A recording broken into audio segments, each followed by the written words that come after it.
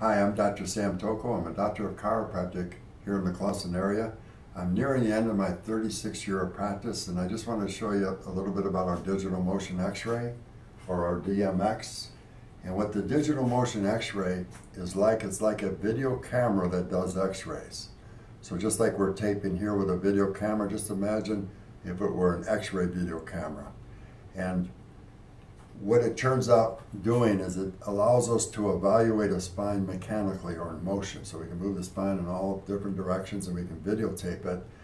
And what we end up being able to do is uncover a lot of commonly overlooked injuries because many problems with the spine are in motion. So when I bend over to try to pick something up, I'm getting a hitch or I can't turn my head quite right and so forth. So we're able to evaluate the spine in motion and uncover lots of problems that no one else would ever know about. There's about three of these digital motion x-rays in the state of Michigan and this is what it would look like if you're able to uh, observe a little bit of it.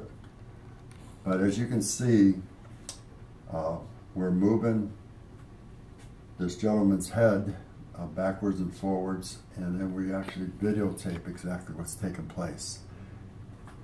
Most problems in the spine are mechanical, and if you take a still x-ray where there's no movement, you're not going to be able to uncover what the, what the problem is.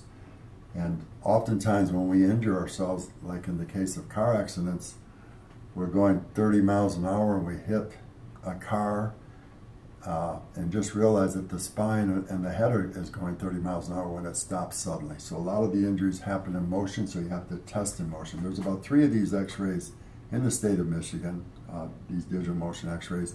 I believe I'm the only office that has one in southeast Michigan. So uh, we're real excited about this x-ray in our office and that's why we want to share it with you. Have a great day.